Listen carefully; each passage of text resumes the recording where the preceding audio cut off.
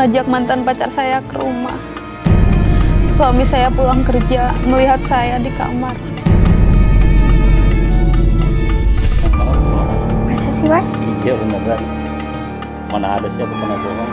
Makasih ya mas. Kamu jangan pernah tinggalin aku ya. Gak akan jauh. Lalu. Astaga. Sally! Ngapain kalian berdua di dalam kamar? Aku nggak apa-apain mas. Aku nggak apa-apain. Eh, kamu udah jelas-jelas ketahuan berduaan di dalam kamar sama laki-laki lain. Masih bisa ngelak kamu? Hah? Oh, aku tahu. Pasti laki-laki ini mantan kamu kan? Sini kamu. Ah!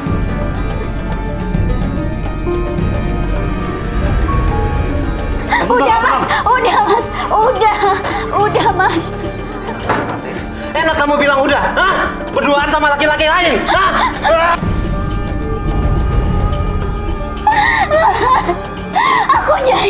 aku gak akan ngulangin lagi mas. Ah! Aku minta maaf. Eh, dengar ya. Gue nggak mau dengerin omongan lu lagi. Dan mulai sekarang, lu pergi dari sini. Gue udah muak ngeliat muka lu. Pergi! Pergi! Ah! Ah! Akhirnya kami cerai. Dan seluruh hartanya diambil dan kami jatuh miskin. Saya diusir. Nah, ini contoh nih, pemirsa. Mudah-mudahan Allah merahmatin kita, mengampuni dosa kita. Sama, begitu loh. Ada Rasul mengatakan kalau ada seorang laki-laki datang kepadamu ingin melamar anakmu, begitu, dan kau yakin agamanya bagus, jadi bukan hartanya. Jadi kalau yakin agamanya sudah nikahkan. Tapi apa sekali lagi, mama do mafata yang lewat sudah lewat. Ini sebagai pelajaran kita. Apa yang kita lakukan? Kita bertaubat. Tidak perlu menyalahkan yang dulu sudahlah, yang dulu lewat. Kita kembali. Kullu bani Adam khatta'un. Setiap anak manusia itu punya kesalahan. Wa khairul. Sebaik orang-orang yang salah itu adalah yang bertaubat. Saya kira harus bertobat. Nah, selanjutnya Mas Farid yang perlu menjadi catatannya inilah ketika suami dia punya uang nih, kan kewajibannya tidak hanya materi. Ini yang kedua nih, seorang oh manusia itu diciptakan punya nafsu, punya syahwat, harus dijaga. Dia punya istri, harus dipenuhi. Maka kalau suami tidak mampu memenuhi, jangan disiksa, jangan dipelihara, jangan dibiarkan begitu saja. Justru sekali lagi ini ibadah loh. Memenuhi nafkah batin istri itu ibadah. Sampai kemudian istri melakukan selingkuh, ini juga salah. Ini salah. Salahnya kenapa? Masih punya suami. Lakukan hal-hal yang sesuai aturan. Misalnya apa? Menuntut cerai. Pemirsa yang dirahmati Allah, kalau ada kita melakukan begini, jangan justru kemaksiatan dibalas dengan kemaksiatan. Nggak boleh. La tu'alijul khoto bil khoto. Jangan diselesaikan permasalahan yang salah dengan kesalahan berikutnya. Assalamualaikum bu. Saya pulang. Kamu pulang juga, ha? Ke mana aja kamu jam segini baru pulang? Pulangnya lama banget.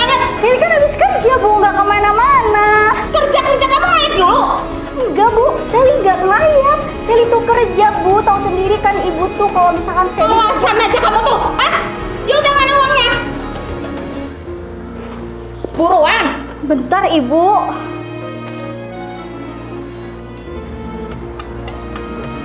Apa-apaan ini? Kawannya cuma sedikit. Kamu bohong ya? Kamu lihat itu uangnya, ha? Sally nggak pernah bohong bu, emang cuman segitu. Sini.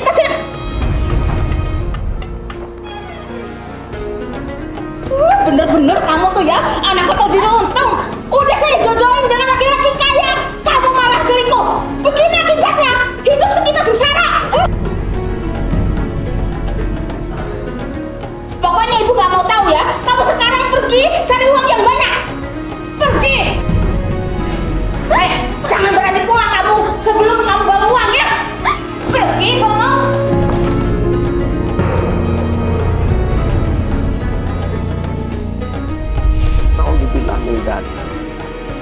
lagi Mbak Sally, lebih baik kita berhenti deh. Apakah pertanyaannya seorang anak kemudian nggak mau patuh sama orang tua gara-gara untuk berbuat maksiat durhaka? Tidak. Justru ini menolong orang yang berbuat dolim. Begini Mbak Sally, Rasulullah menyarankan begini, unsur akhoka zoliman au mazluman tolonglah saudaramu, orang tuamu, anakmu, kerabatmu yang berbuat zolim atau yang dia didolimi. Sahabat bertanya, ya Rasulullah, nang suruhu madluman, wa nang suruhu zoliman. Kami nolong kalau orang didolimi, kami nolong. Bagaimana cara menolong orang yang berbuat zolim? Yamna'uhu minaz zulm kata Rasulullah. Cegahlah dari dia tidak sampai berbuat dolim. Kalau Ibu Seli menghentikan Berhenti nih. Dah, Mak, Ibu saya nggak mau berhenti. Menolong ibunya. Justru berarti Mbak Seli taat sama ibu Taat sama orang tua. Kenapa? Menolong orang tuanya? Biar dia tidak menjadi orang zolim.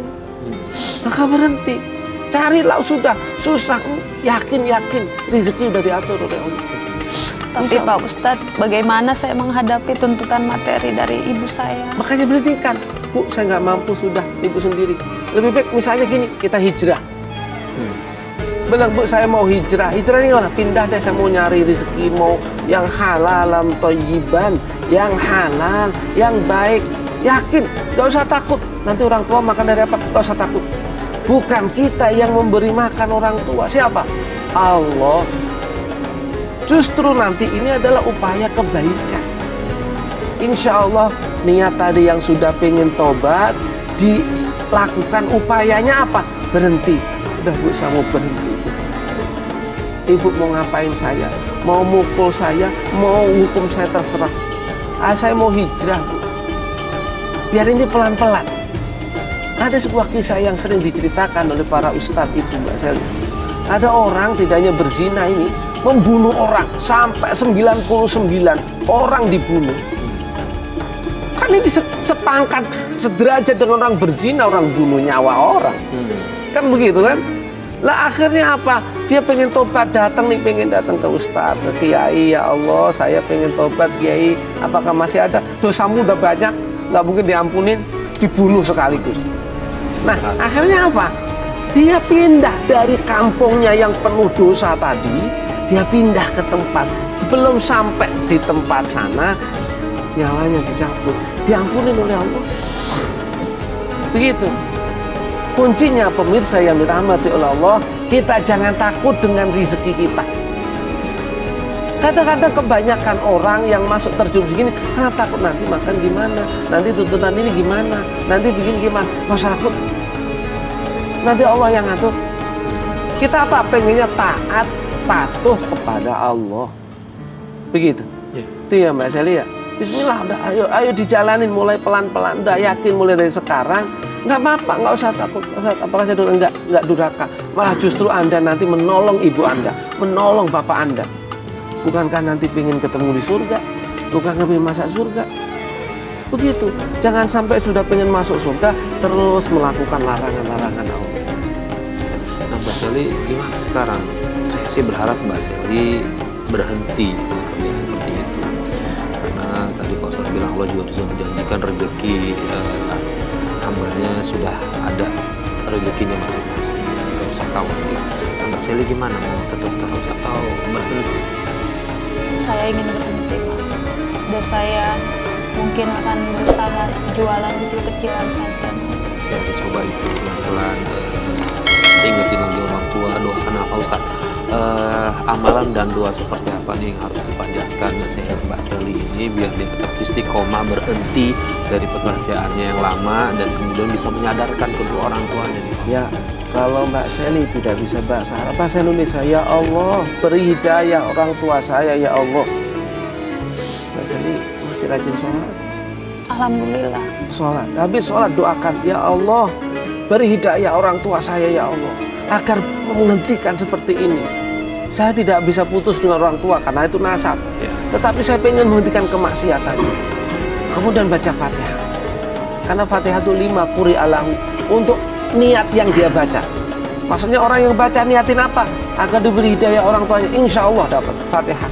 Apalagi Fatihah kan pembuka Al-Fatihah agar pikirannya dibuka, hatinya dibuka, orang tuanya terbuka nanti.